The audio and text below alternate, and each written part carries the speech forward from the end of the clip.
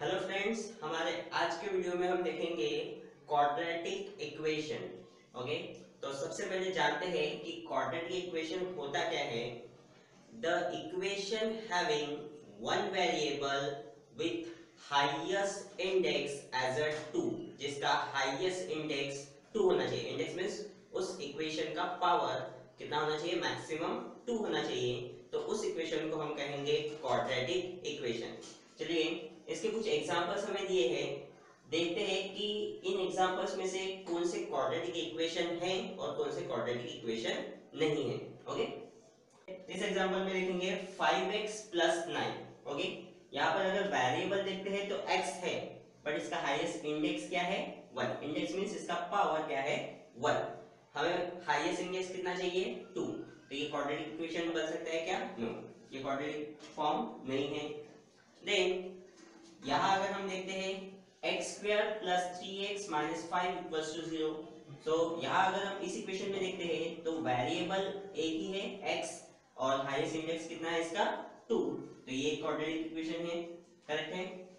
ये भी same three x minus seven equals to zero ये क्वाड्रेटिक इक्वेशन हो सकता है क्या? नहीं, क्योंकि इसका हाईएस्ट इंडेक्स कितना है?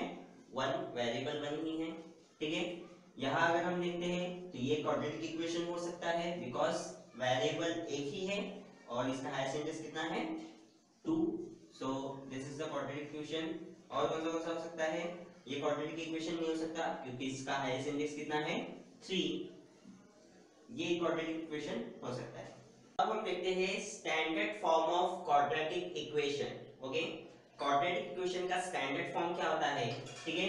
इक्वेशन है, इसका a square plus b x plus c equals to zero this is the standard form of quadratic equation यहाँ अगर हम देखते हैं तो x एक सिंगल वेरिएबल है। यहाँ x की जगह पर कोई भी वेरिएबल आप ले सकते हैं ओके देन यहाँ a, b एंड c एक नंबर है ओके दैट मींस इसे हम कहेंगे कोएफिशिएंट ठीक है?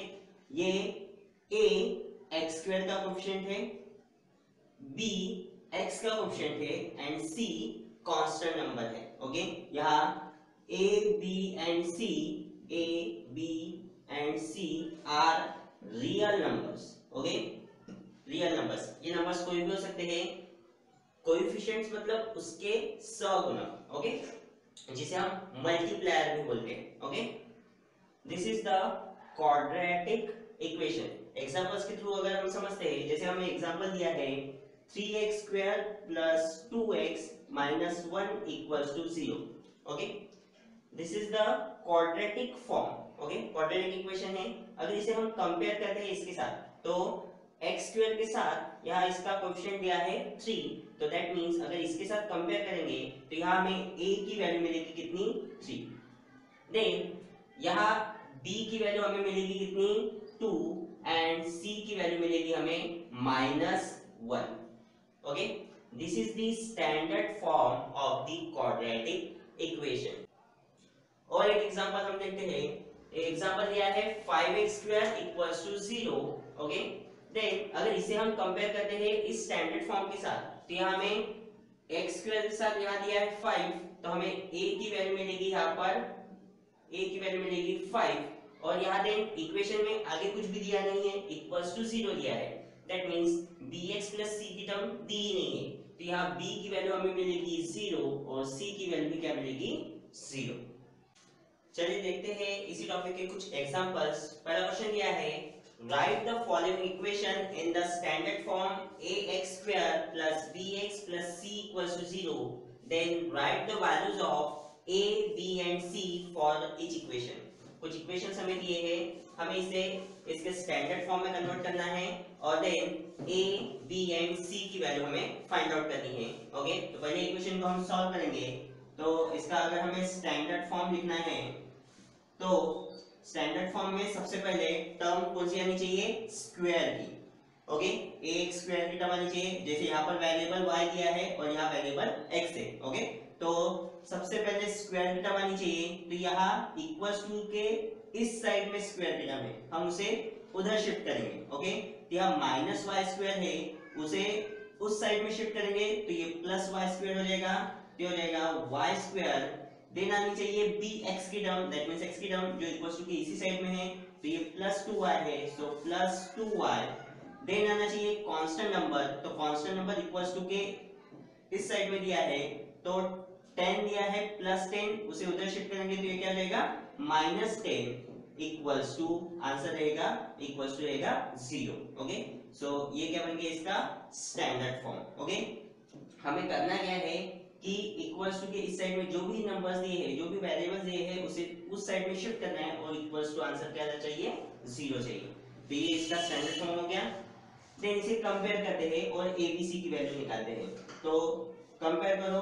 So therefore ax square plus bx plus c equals to 0 इसके साथ अगर हम कंपेयर करते हैं तो या a की वैल्यू क्या मिलेगी? 1 b की वैल्यू क्या मिलेगी? 2 एंड c की वैल्यू क्या मिलेगी? माइनस टेन यहाँ पर वेरिएबल y दिया है और यहाँ वेरिएबल क्या है? X है. तो मैंने बोला था कि कोई भी वेरिएबल हम यूज़ कर सकते हैं। सो so, इस इक्वेशन में वेरिएबल क्या दिया था? Y. दूसरा क्वेश्चन देखते हैं। इस क्वेश्चन में हमें दिया है p into bracket three six p equals to minus five okay यहाँ वेरिएबल क्या है? P. अब ये इक्वेशन सिंपलीफाइड फॉर्म में नहीं है. सबसे पहले हम इसे सिंपलीफाई करेंगे. P से इस ब्रैकेट को मल्टीप्लाई करते हैं तो हो जाता है 3p plus p six P हो जाता है. Six p square equals to minus five then अगर इसका स्टैंडर्ड फॉर्म हम लिखते हैं तो इसका स्टैंडर्ड फॉर्म में क्या मिलेगा? सबसे पहले पी स्क्वायर की टर्म चाहिए?